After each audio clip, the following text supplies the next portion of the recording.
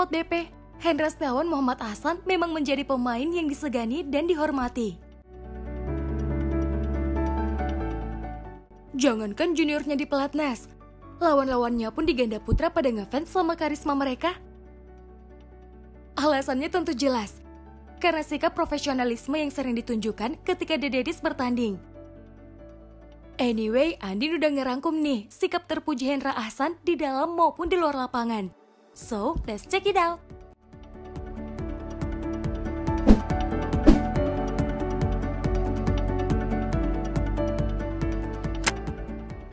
Kita mulai di round 32 Yonex All England Open 2021 saat melawan Benson. Ketika skor sama kod 99, The Daddies dan wakil tuan rumah terlibat adu pukulan drive.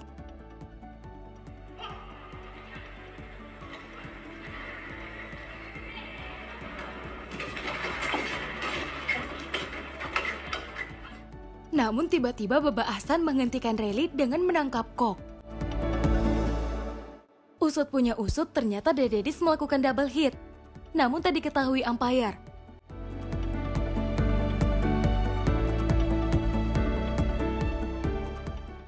Atas aksi profesionalismenya ini tak hanya penonton yang takjub, Ben dan Sen pun turut memberikan pujian ke tandem Kohendra ini.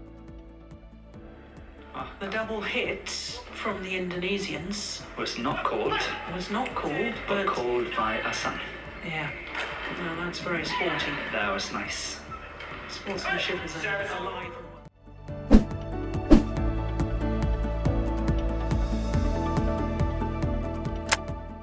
Next, ketika melawan Chiaso di ajang Olimpiade Tokyo 2020 kemarin.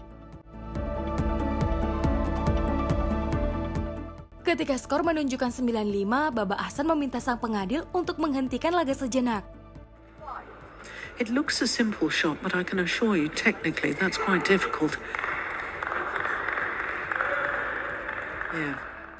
Sebab pemain 34 tahun ini menyadari kalau poin ganda putra Malaysia seharusnya 6 bukan 5 seperti yang terpampang di papan skor. Kesalahan ini bahkan tak disadari oleh Chiaso loh Sobat BP. Walah walah. Memang jujur ya si Baba Hasan ini. Respect deh pokoknya.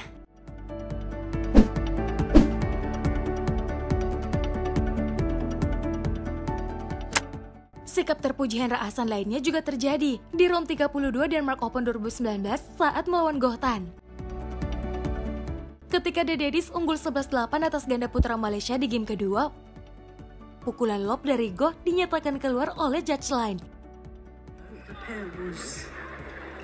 Bo and yeah.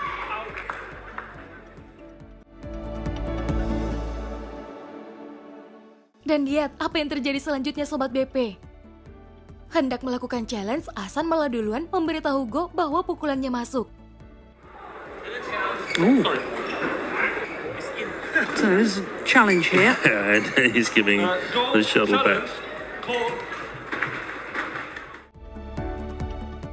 Dan benar saja, pukulan Go memang jatuh di dalam bidang pertahanan The Daddies. Bener-bener kan Baba Hasan ini jujur banget orangnya. Bikin Andin makin kagum aja deh.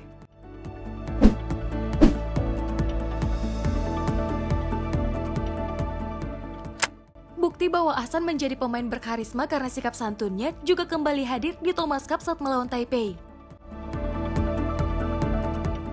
Ahsan yang bermain bersama Daniel kalah dalam rubber game dari Lu Qingyao dan Yang Pohan.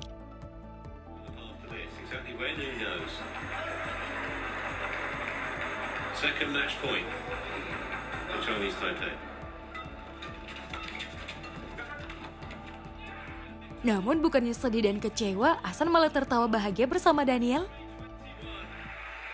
I don't think too many would have predicted that after they lost the second game. Lu dan Yang sebagai lawan pun tak melakukan selebrasi berlebihan, melainkan segera berbungkuk beberapa kali sambil menatap Ahsan.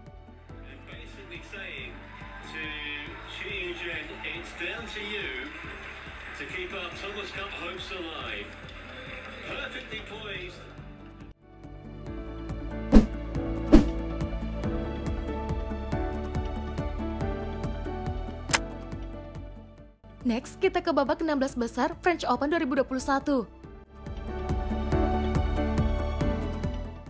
Selain Liang Wang Chilin, ada lagi nih pemain Taipei yang ngefans dan menaruh respect pada The Daddies. Dialah Lu Qingyao dan Yang Pohan. Meski tampil barbar dengan aksinya yang lincah dalam mengantisipasi pukulan lawan, pasangan ini juga mengaku merupakan fans sejati The Daddies. Bahkan saking ngefansnya, mereka sampai meniru aksi Lee dan Wang di Olimpiade kemarin. Tampak jelas pasca pertandingan yang dimenangkan The Daddies kemarin, Lu Qingyao dan Yang Pohan segera merapat ke net card lalu kemudian mencium tangan Ahsan dan Hendra.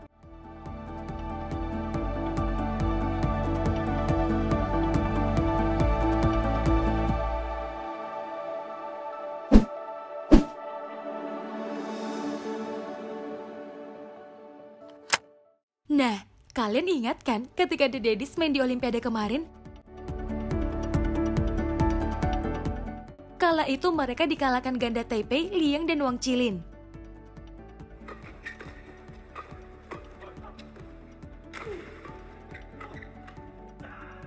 Bukannya selebrasi berlebihan, pasangan peringkat tiga dunia ini malah berkali-kali membukukan badannya. Mereka seolah-olah meminta maaf karena telah mengalahkan The Daddies. Coba perhatikan wajah sang wasit Sobat BP. Ia bahkan tampak tersenyum sendiri melihat momen respect luar biasa yang terjadi di depan matanya. Di tempat lain, ada juga video yang beredar luas di Twitter di mana Liwang bertemu The Daddies di training card. Tampak dalam video yang diunggah akun bernama Hilda ini, mereka segera mendekati Hasan Hendra dan mencium tangan.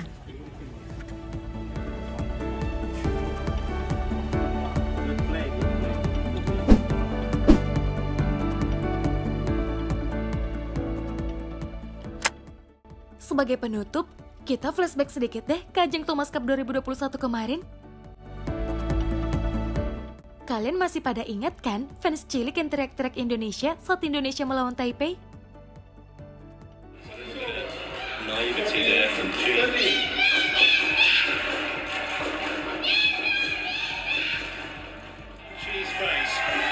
Win boy, had to work hard for